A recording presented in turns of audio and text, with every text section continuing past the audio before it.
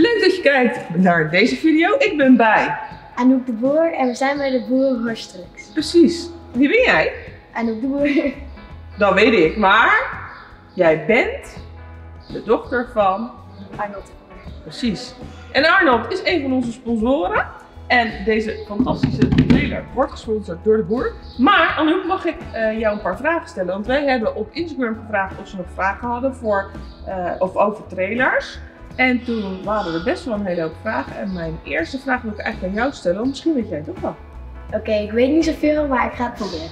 Oh, dat vind ik wel echt top. Oké, de eerste vraag is. Ik heb kabels die nogal lang over de, eh, van de trailer, die moeten natuurlijk naar de auto. Je hebt zo'n ding waar je mee kan remmen blijkbaar en eentje waar de lampjes wat mee doen. En die hangen een beetje op de vloer. Mag dat? Nee. Dat mag niet?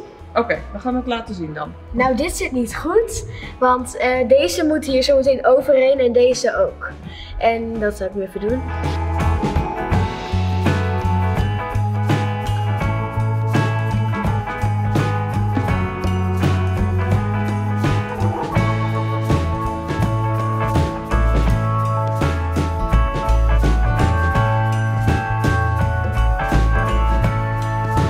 Deze vraag is voor mijzelf.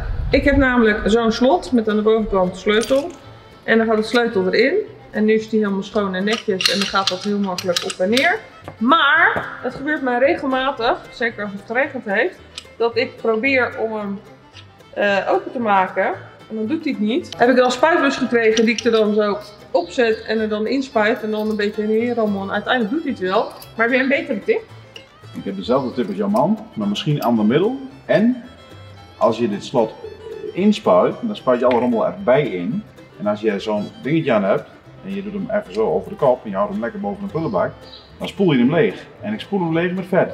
Oké. Dus als ik dat nu doe, wordt een rommel hier. Maar dan moet er eigenlijk iets onder staan dat je niet smeert. En dan spoel ik hem even helemaal uit. En daarna kun je hem gewoon zeggen van ik doe er weer iets bij in. En dan gebruik je je sleutel en dan werkt hij gewoon perfect. Oké. Nou, hoe kan ik zien dat mijn banden goed zijn? Ik, heb, eh, ik weet dat je heel goed voor de trailer zorgt. En ik weet ook, jij zegt altijd je kan naar Rusland en terug. Dus de- ik maak me daar niet zo heel veel zorgen over. Maar eh, toch heb ik soms wel het gevoel, hoe zit dat nou met die banden? Zeker als het heel droog is geweest. We hebben vroeger caravan gehad. En dan weet ik dat als er eh, krakjes in komen, dat het niet goed meer is. Maar zijn er nog meer dingen waar ik op moet letten bij mijn banden? Wat wij doen, we halen alles eraf met onderhoud. Dus de banden die hebben we gewoon hier staan. Dan pak ik altijd, ga ik even staan en dan, en dan rol ik dat wiel rond. Totdat ik weer met mijn één hand bij het ventiel zit. Ben ik helemaal rond geweest. Dus visuele controle van heel die band.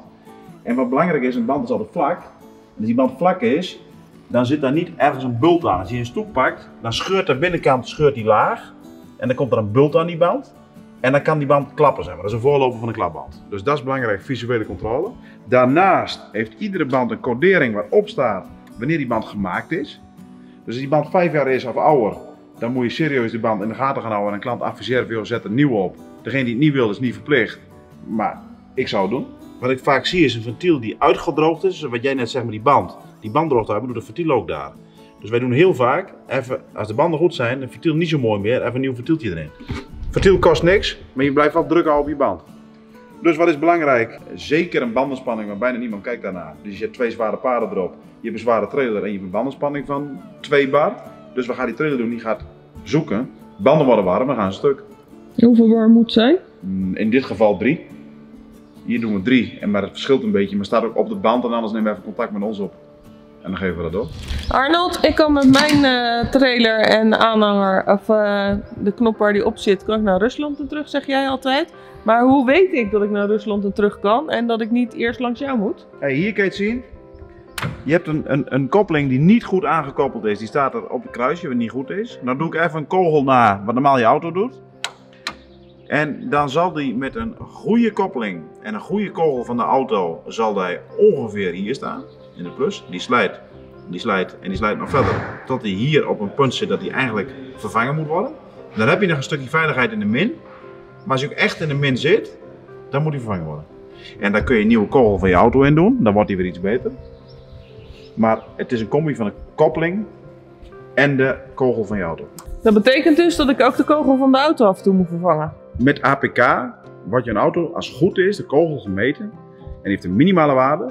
Is hij te klein, krijg je een nieuwe kogel. Niet alle bedrijven doen dat, maar let daarop. Als het haakje eraf is, kan je die dan ook zelf erop zetten? Of moet je dan echt eventjes naar jou toe? Dat, Dat, dat kun je wel doen zelf.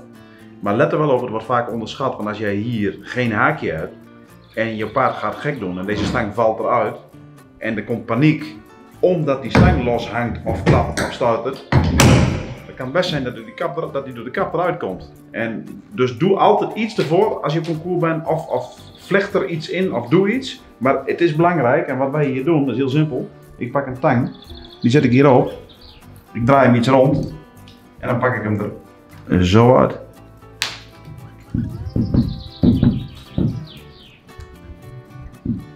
Hem niet voor. Kijk, zie je? Dus je buigt, buigt hem iets scheef, hang hem daar weer in. En je buigt hem weer terug, that's it. Maar dit is belangrijk, dit haakje is echt belangrijk. Lijkt zo simpel, Maar dat is het niet. We hebben hier de, het voorwiel. En op een gegeven moment wordt steeds hier, ik ga het even laten zien, wordt dit echt helemaal één gore, vette rotzooi. Kan ik daar zelf iets aan doen? Wat het is, hier komt vet uit naar boven toe als hij goed ingevet is. En eigenlijk is het overtollig vet. Kun je gewoon met een doekje weghalen. En als je te lang mee weg wilde niet met een doekje. Nee. Dan doe ik dat meestal gewoon of met een, een, een vetoplosser of gewoon met een hoge drukspuit die heet water levert. Maar die moet je wel toevallig hebben. Wat wij wel doen is met onderhoud staat die trailer op de brug, dus heel dat wiel kan eruit. Halen we hier de pen uit, pakken we het hele wiel open, maken we de delen waar vet in moet, doen we vet in. En niet het overtollige vet waar de standaard in zit, want dat heeft geen zin. En dan komt het dus ook niet meer uit straks. Dus nu hebben ze gewoon vet aan gedaan, maar er komt niet overtollig veel vet meer uit. Dus dat, dat is wel een kwestie van doen. En dat is, onderhoud eh, is gewoon een kwestie van uit elkaar halen, goede dingen invetten en weer terug in elkaar. En dan heb je die smeerpartij niet. Nou vervoer ik meestal paarden in de trailer, maar een enkele keer vervoer ik ook wel eens hooibalen of iets anders. En kan ik dan het middenschot er gewoon uithalen? Kan, maar dan laat ik even wat zien. Ja. Je hebt op de zijkant van je trailer, heb je hier een, een, een stevigheid zitten die je wanden bij elkaar houdt. Je achterklep, die zorgt ervoor dat ook die wanden bij elkaar gehouden worden. En als je een keer een baaltje hooi ingooit en de klep moet eruit, is het niet zo spannend. Of de klep, de, je tussenschot moet eruit, is het niet zo spannend.